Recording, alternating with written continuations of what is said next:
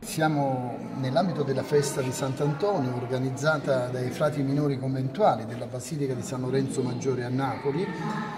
Sono a Carmagnola e la rievocazione storica dell'ingresso dell'armata della Santa Fede, quindi San Fedisti, nella capitale il 13 giugno del 1799.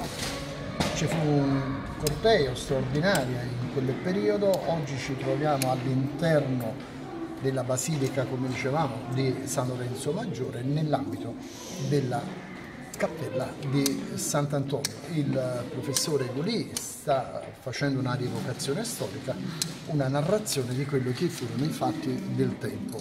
Si è appena conclusa questa serata rievocativa dove si è, parlata, si è parlata di storia, si è parlato del processo dell'ingresso dei sanfedisti come avrete potuto notare, alle spalle del professore Vincenzo Gulì, accanto alla bandiera borbonica, c'era la bandiera della Federazione Russa, che è sempre stato uno Stato molto vicino al regno delle due Sicilie. All'evento ha partecipato anche il console eh, della, della, Federazione Russa. Per Sinapsi News e Napoli News Magazine, Sergio Angrisani.